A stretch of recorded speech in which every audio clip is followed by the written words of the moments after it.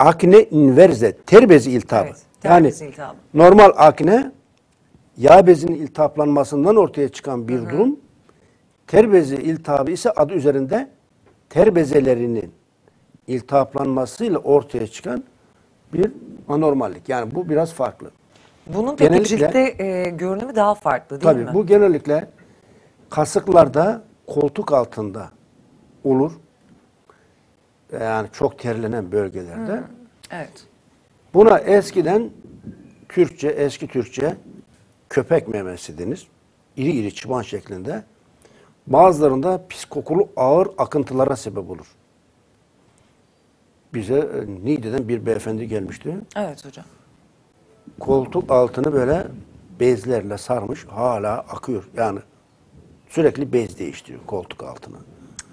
Kasıklarda, koltuk altında. Ter bezi iltihabı, hidratentis suprativa, akne inverse gibi isimleri var. Evet. Dünyada tedavisi yok. Neden? Çünkü hastalığı, her türlü cilt hastalığını,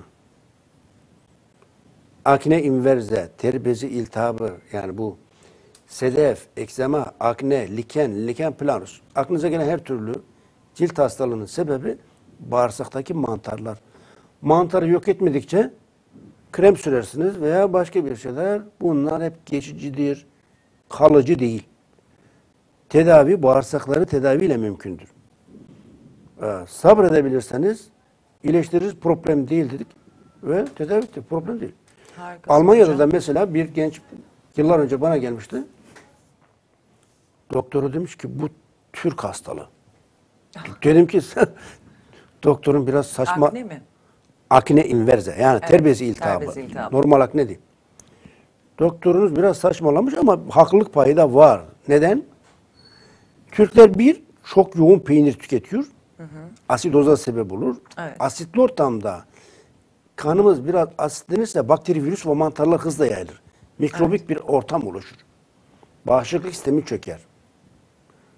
Bu nedenle peynir çok tüketiyoruz. Bir, tatlı çok tüketiyoruz. Asit oranı tekrar. Yani dünyada eskiden en sağlıklı beslenen milletken Osmanlı zamanında Osmanlı son dönemine kadar Cumhuriyetle birlikte son 50 yıldır özellikle dünyada en sağlıksız beslenen millet haline geldik.